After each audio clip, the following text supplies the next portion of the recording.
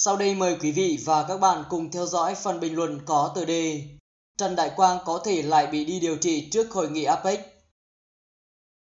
Thế là điều bí ẩn về sự mất tích của ông Chủ tịch nước Trần Đại Quang gần 2 tháng, từ ngày 26 tháng 7 tới ngày 2 tháng 9 năm 2017 đã bắt đầu lộ diện.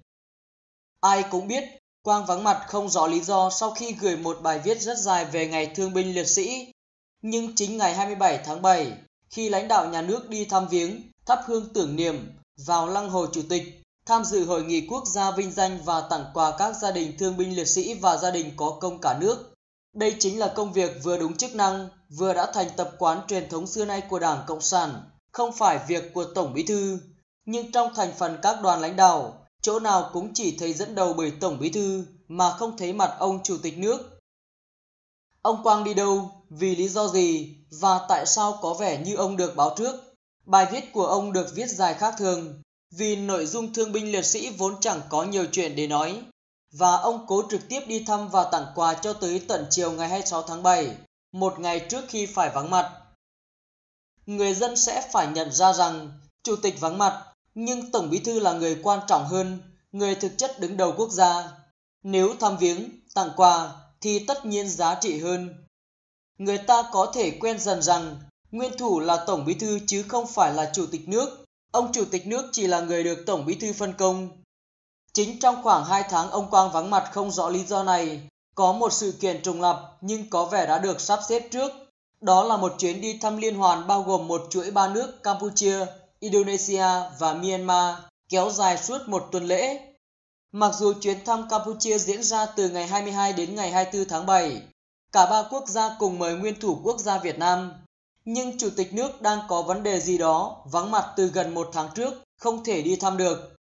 Tuy nhiên Việt Nam không làm lỡ lời mời, Tổng bí thư đảng sẽ dẫn đầu đoàn đại diện quốc gia. Vì thực chất, dưới chế độ độc đảng, Tổng bí thư mới thực sự là nguyên thủ của Việt Nam. Các nước xung quanh và các quốc gia trên thế giới phải hiểu ra và chấp nhận thực tế đó.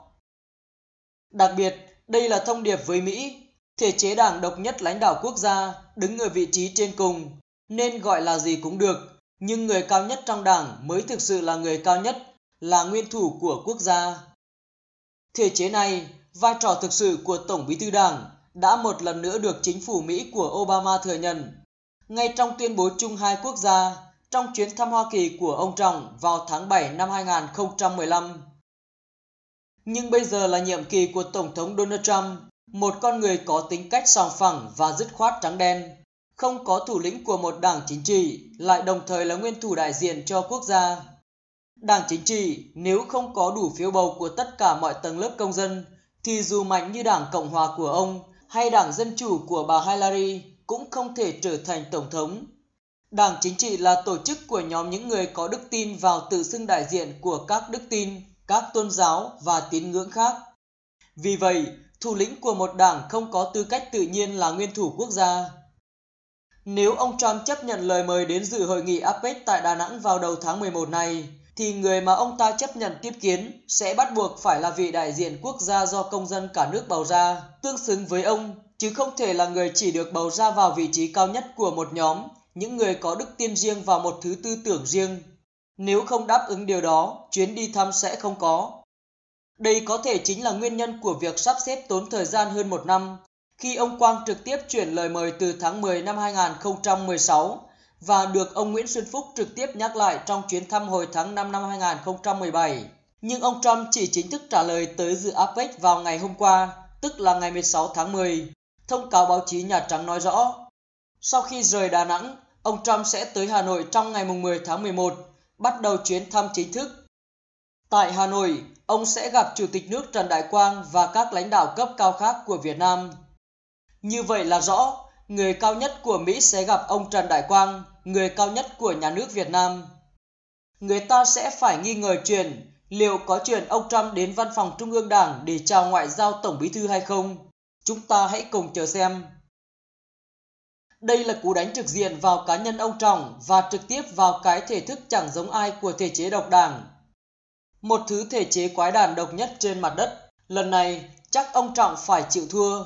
Cho dù ông nổi tiếng là người nhiều mưu ma trước quỷ, ông đã từng bày ra trò ép quốc hội 13 của ông Nguyễn Sinh Hùng, bài miễn chính phủ của ông Dũng và bầu ra chính phủ mới chỉ để buộc ông Dũng về vườn trước chuyến thăm của Tổng thống Obama. Tước quyền đứng đầu chính phủ của ông sau khi mất ủy viên Bộ Chính trị, nhưng chưa hết nhiệm kỳ. Ông gọi là kiện toàn tổ chức đảng. Ông Quang đột nhiên xuất hiện trở lại vào đầu tháng 9, trông có phần yếu nhưng không bệnh tật gì. Có thể do Bộ Chính trị đã buộc phải chấp nhận điều kiện của Mỹ để có thông cáo nhận lời của Nhà Trắng. Xưa nay ai dám tin vào Đảng Cộng sản, có điều Đảng cũng chưa chắc là cá nhân ông Nguyễn Phú Trọng, mà thủ đoạn cá nhân thì không có cách gì đoán biết trước được. Đến gần ngày 10 tháng 11, thậm chí là đúng vào ngày 10 tháng 11, ngay sau khi có tin máy bay của ông Trump đã rời Mỹ để đến Đà Nẵng, thì đột nhiên lại có chuyện Chủ tịch nước Trần Đại Quang phải đi đâu đấy, không thể tiếp Tổng thống Mỹ. Và khi ấy lại là Tổng bí thư Nguyễn Phú Trọng, buộc phải đích thân đón tiếp Tổng thống Mỹ và là người ký vào tuyên bố chung.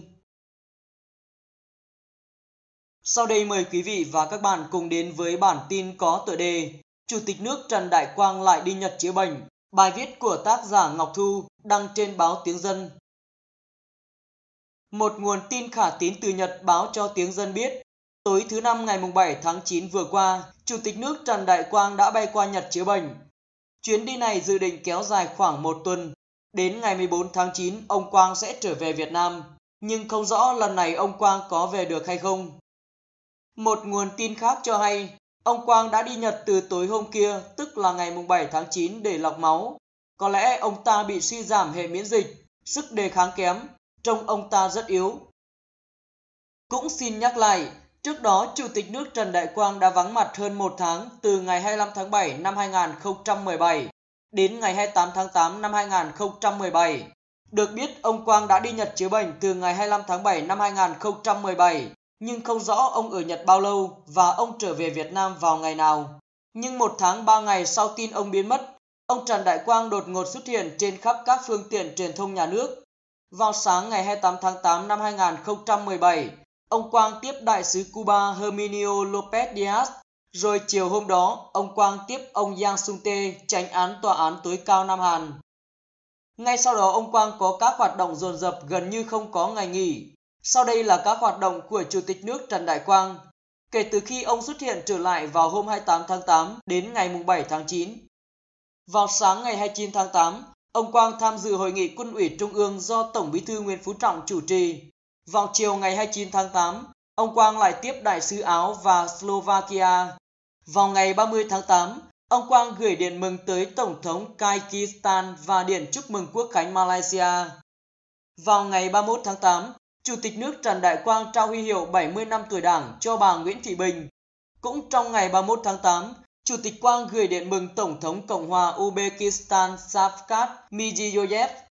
Vào ngày 1 tháng 9, Chủ tịch nước Trần Đại Quang gửi thư chúc mừng nhân dịp khai giảng năm học mới. Buổi chiều ngày 1 tháng 9, Chủ tịch Quang trao quyết định thăng quân hàm Thượng tướng và Trung tướng cho ba ông, Thượng tướng Phan Văn Giang, Thượng tướng Nguyễn Trọng Nghĩa và Trung tướng Trần Việt Khoa. Vào thứ Bảy ngày mùng 2 tháng 9 và Chủ nhật ngày mùng 3 tháng 9 là lễ Quốc Khánh và là cuối tuần. Chủ tịch Quang nhận điện mừng Quốc Khánh 72 năm từ các nước trên thế giới gửi tới. Vào ngày mùng 4 tháng 9, Chủ tịch Quang trả lời phỏng vấn báo chí về mối quan hệ Việt-Lào.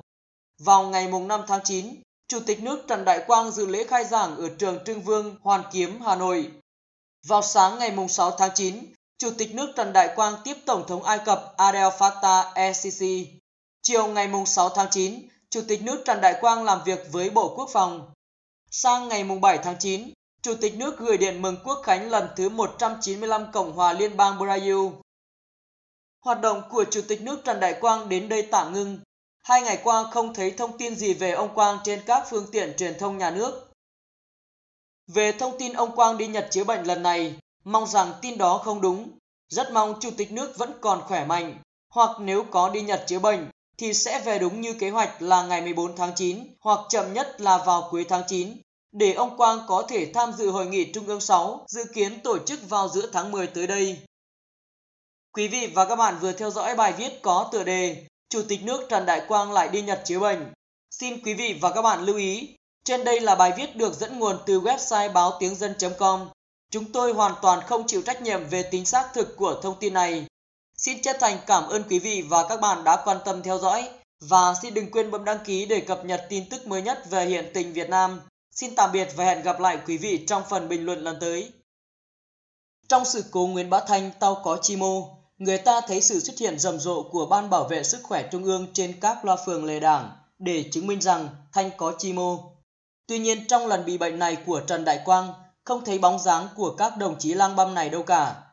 Phải chăng đạo diễn đang cho viết kịch bản và các ông bà lang của đảng chưa vào cuộc để đóng phim như lần trình chiếu cuốn phim không thấy của Nguyễn Bá Thanh? Trong lúc đang chờ nhà sản xuất phim Nguyễn Phú Trọng bật đèn xanh cho phim trường Ba Đình tiến hành cuốn phim Trần Đại Quang, Chủ tịch không không thấy, tuyên láo lề đảng tiếp tục cho Trần Đại Quang ẩn mình gửi thư chúc mừng khắp nơi. Nào là Chủ tịch nước gửi điện mừng tới Tổng thống Hàn Quốc, gửi điện mừng Quốc khánh Ấn Độ, điện mừng Quốc khánh Cộng hòa Trung Phi, mừng Quốc khánh Cộng hòa Tết Chát, thư mừng đến Tổng thống Singapore.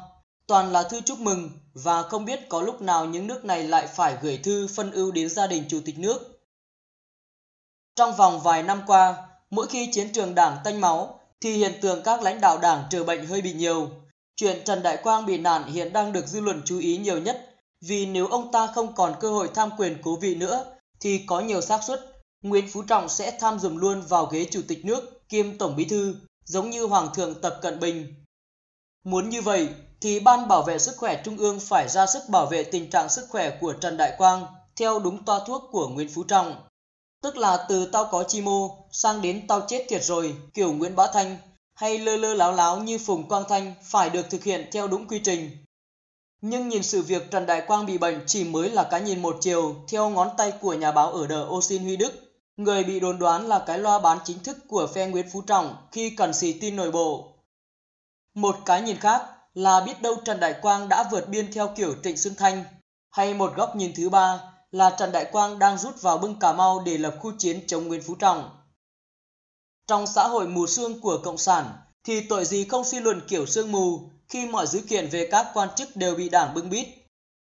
Tất cả đều có xác suất đúng, ít ra nó sẽ đúng hơn là những gì đang được tuyên giáo đảng trình làng. Chủ tịch nước gửi điện thư chúc mừng mà không thấy chủ tịch đang ở đâu. Ngày nào đảng và nhà nước còn im lặng về tung tích của Trần Đại Quang, thì ngày đó, người dân còn tiếp tục đưa ra mọi giả thuyết không được vui về ông chủ tịch này. Giả thuyết càng không được vui, thì người dân càng mừng, vì tên cộng sản nào chết thì dân cũng vỗ tay và gửi thư chúc mừng.